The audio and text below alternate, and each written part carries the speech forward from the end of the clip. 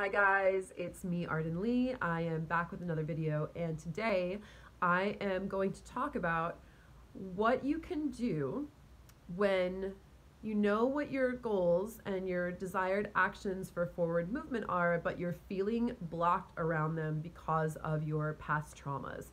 This is an inquiry that uh, came up from one of the members of the Repatterning Parlor, which is the free Facebook community that I moderate uh, surrounding the work of the Repatterning Project.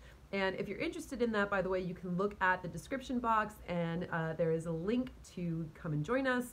Uh, we'd love to see you there. Come and say hello, especially if you have uh, requests yourself for topics that you would like to see me address in this video. So, this particular subject is something that I have grappled with and, uh, and honestly that I'm still grappling with. Um, although I can feel where I'm making more and more progress along the way, uh, especially by, um, you know, by, by breaking things down into more manageable chunks. So um, let's talk a little bit about how our past trauma can affect our um, ability to take action to move forward, right? What happens is, um, and I'm really glad that the person who posted this question is aware of these things because that makes um, that makes it so much easier.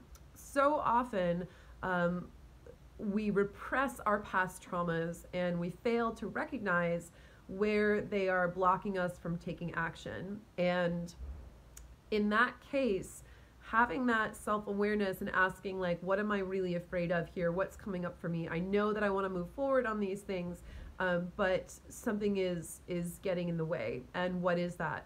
And uh, and so if you're stuck in that space i would really advise you to look back along your own timeline you know through everything that's happened to you throughout your life which granted can be an an overwhelming process right? But um, but really uh, remarkably worthwhile. And look and decide you know what was the moment what's coming up for me that's making these next steps difficult to take. Um, when I realized I was feeling stymied in my business, um, stymied in my ability to step into a position of leadership, um, I realized, I looked back along my own timeline and I remembered um, the point in time in my early 20s in which I was a professional dominatrix and uh, I had a, a, sort of bevy of clients, you know, um, who I interacted with online on some of the BDSM forums, and uh, and everything went horribly, disastrously wrong. um, the place where I worked was shut down by the NYPD Vice Squad. Um, my email was hacked by some of my professional competitors um, things I had written privately for uh, uh, for the training of the the women who worked in the same house as me were leaked online. I was framed as a villain. Uh, it's a really long story, and I'm sure even just recounting these details sounds like ridiculous and, and far fetched. And I'm not going to spend this whole video telling the whole story of what was happening to me. Um, but long story short, a lot of my clients turned on me, and uh, and and essentially this fantasy um, that I had promoted of being this professional dominatrix character that I, I was um, embodying. It was, you know, because naturally, naturally, um, a fantasy provider like that is is going to come from a place of blended authenticity and fantasy. Was I um, sincere in my performance of that role? Yes, absolutely. Um, but at the same time, you know, those my clients didn't want to see me like in my sweatpants or whatever dealing with very normal human problems that would have uh, kind of ruined the fantasy for them in their mind. So um, so when all of this happened and that fantasy was shattered a lot of people turned on me. Uh, it got really ugly really nasty. I was outed in the new york post. There were threats on my life.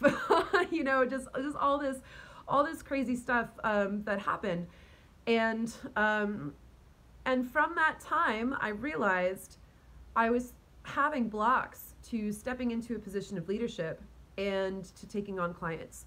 And I spent um, I spent a while kind of working this out.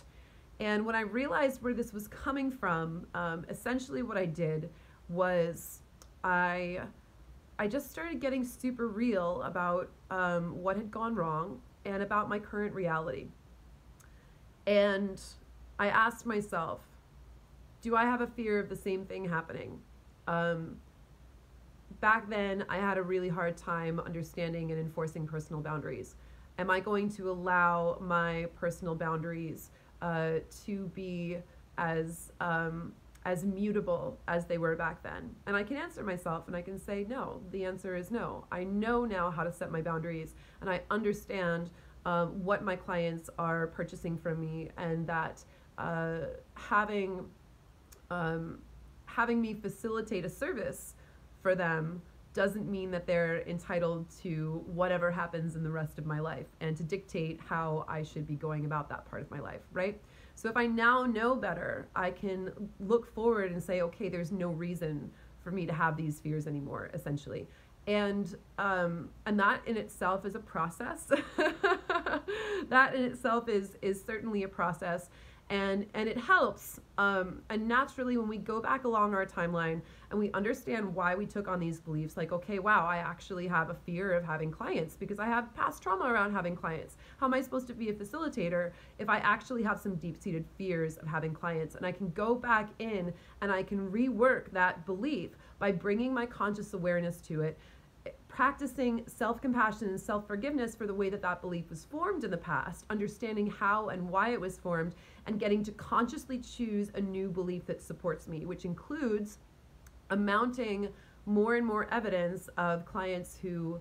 Um, who I have great relationships with, and focusing on those and tuning into what it feels like to have relationships with clients that are um, mutually beneficial and healthy and supportive, right? So I'm going to go back, essentially, I'm going to look at the beliefs that my past trauma installed, and I'm going to find evidence for how I can do things better and differently in the future, all while forgiving myself and practicing understanding and compassion for how those beliefs got formed in the first place, right? Is this making sense so far?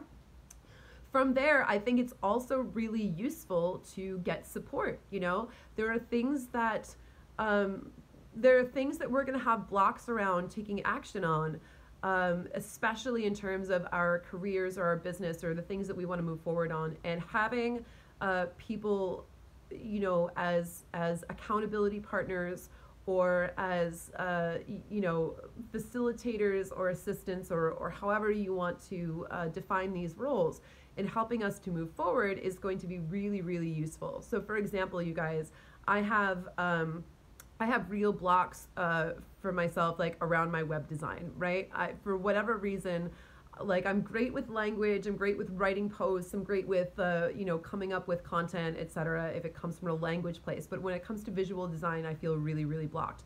And combine that with some of my past trauma that, you know, is maybe holding me back from stepping fully into, uh, into my leadership. It means that if I don't have someone else who is helping me with this process, who I am accountable toward, then I probably won't get it done. So uh, I hired an amazing web designer who herself is a, very spiritual person, a spiritual practitioner who happens to also be very skilled in web design. And I expressed to her just earlier this week, I was like, thank you so much for holding space for me through my resistance to this because I know that this is something that's difficult for me.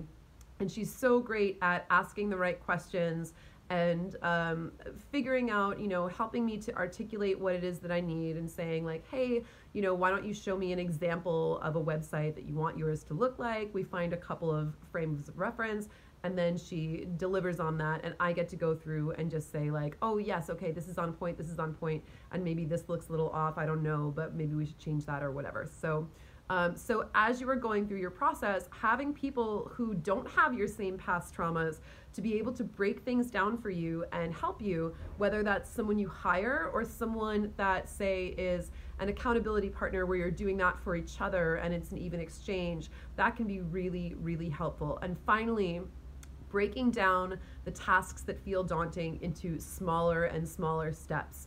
So I look at my to do list and I try to break it down into as small chunks as possible so that it, it feels uh, less overwhelming to take those steps toward uh, that desired goal, that desired action. And in addition, sometimes even just the process of making that to do list and seeing the things that I have in front of me, especially when they're broken down into smaller chunks, is helpful in my not feeling so overwhelmed by it, especially when uh, the person who asked this question said they typically know what they need to do going forward, but their past traumas are coming up and they're feeling blocked around it. So, again, breaking those things down into small things and even just saying, hey, if I only get one thing done on my list today, that's going to add to the evidence that I am capable of doing this. And I'm just going to do one thing going forward.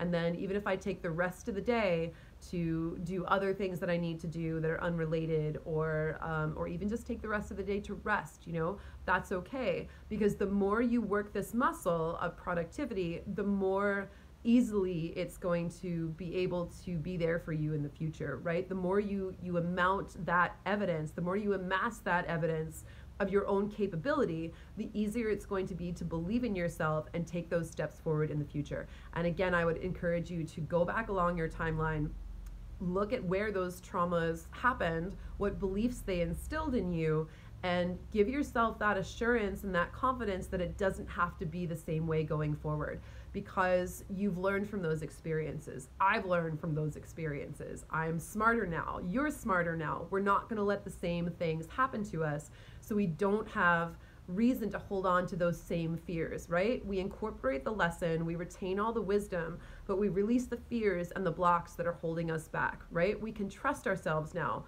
We're a little older, we're a little wiser, and we're not going to let those same things happen. So we know that we can move forward, we can have better boundaries in place, we can trust our discernment, and we can move forward towards our goals.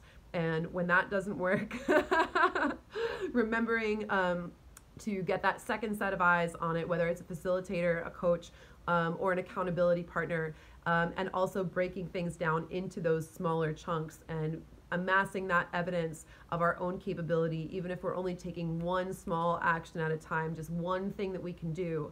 Um, soon it's going to be easy to do that one thing, and we're going to wake up and say, you know what, I can do three things today. I know I have the bandwidth and the capacity for three things on this to do list. And we keep going and we keep furthering ourselves in that direction uh, where we are proving our capability to ourselves more and more um, at each possible chance. So, thank you for listening. I hope this was helpful. And again, looking back along our timeline and figuring out where those traumas happen is not necessarily something that is easy for us to do on our own. So, I absolutely encourage you, if this is work that you're looking to do and this sounds like the modality that is right for you, I absolutely encourage you to join in the Repatterning Project. We do it twice a year stay tuned for when the next one is going to be happening. Join the parlor so you can uh, get those updates. And uh, because looking back, looking back along our timeline and being able to see everything that happened um, and the patterns that happened there, I'll be honest, you guys, it often does. Uh, it, it is often, most often, uh, really benefited by having that second set of eyes to see things a little more clearly than we can see them ourselves. Uh, because if we could see them ourselves, we probably wouldn't have ended up uh, in that place to begin with, right? But that's kind of how. Um, we're not to blame for that because that's kind of how um, trauma and belief formation works is that we take on those beliefs uh, on that level of unconsciousness and we kind of think that that's just how the world is from then on. So dismantling our worldview is a difficult process and often requires help and support. So if I can help you with that in any way, if our group can help you with that in any way, we would love to be here for you. So come join us and let us know if you need uh, further assistance uh, with that timeline work. And uh, it's one of my favorite things to do, basically taking everyone's wires and just disentangling them, figuring out where they all came from part of me that likes to like untangle knots gets very satisfied by that. Thank you guys for watching. I would love to support you in the future and I'll see you in the next video.